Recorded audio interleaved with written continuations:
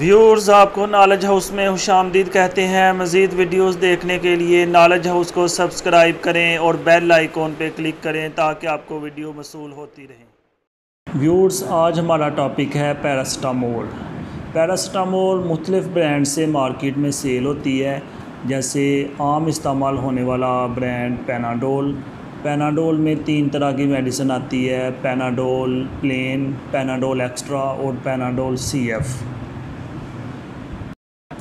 آپ کو in medicine کے بارے میں پتہ ہونا چاہیے کیونکہ یہ medicine over the counter medicine میں آتی ہے۔ اوور دا کاؤنٹر میڈیسن ایسی میڈیسن ہوتی ہے جو آپ فارمیسی سے یا میڈیکل سٹور پر جا کے خود پرچیز کر سکتے ہیں۔ آپ کو ڈاکٹر کو چیک اپ کروانے کی ضرورت نہیں ہوتی۔ تو اس کے بارے میں آپ کے پاس لازمی یہ انفارمیشن ہونی چاہیے کہ یہ میڈیسن کا کیا کام ہے، ہم اسے کیوں یوز کرتے ہیں، اس کو ہم نے کیسے یوز کرنا ہے۔ تو یہ میڈیسن جو ہے بیسیکلی یہ یوز ہوتی ہے بخار کے لیے بخار کے لیے یوز ہوتی ہے۔ اس کے علاوہ اگر کسی جگہ پہ سوزش وغیرہ ہو جائے تو تب بھی یہ میڈیسن یوز ہوتی ہے۔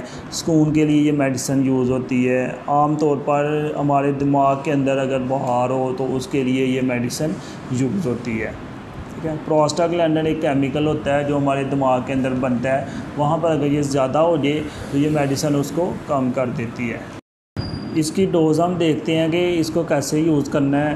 عام طور پر اس کی ڈوز جو ہے وہ فائیو ہنڈریڈ ایم جی سے ہزار ایم جی تک ہوتی ہے۔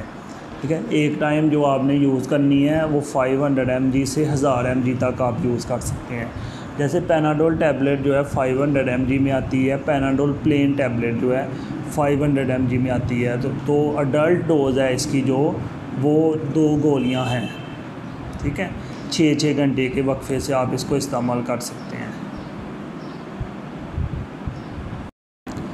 لیکن چھوٹے بچوں کے لیے یہ ڈوز مختلف ہوتی ہے، انہیں اس لحاظ سے ڈوز نہیں دی جاتی۔ ٹھیک ہے یہ ہے پیناڈول پلین کے بارے میں۔ ٹھیک ہے، جیسا کہ آپ کو پہلے بتایا ہے کہ پیناڈول تین قسم میں آتی ہے، ایک پیناڈول پلین جس کے بارے میں آج آپ کو بتایا ہے۔ اس کے علاوہ ایک پیناڈول ایکسٹرا کے نام سے آتی ہے، ایک پیناڈول سی ایف کے نام سے آتی ہے۔ ٹھیک ہے؟ یہ مختلف بیماریوں کے لیے استعمال ہوتی ہے۔ جو سادہ میڈیسن ہے پیراسٹامول وہ پیناڈول کے نام سے آتی ہے، برینڈ پیناڈول برینڈ کے نام سے۔ باقی نیکسٹ ویڈیوز میں آپ کو پیناڈول ایکسٹرا اور پیناڈول سی ایف کے بارے میں بتاؤں گا کہ یہ میڈیسن کیسے یوز ہوتی ہیں اور کون کون سی بیماریوں میں اس کو یوز کرنا چاہیے۔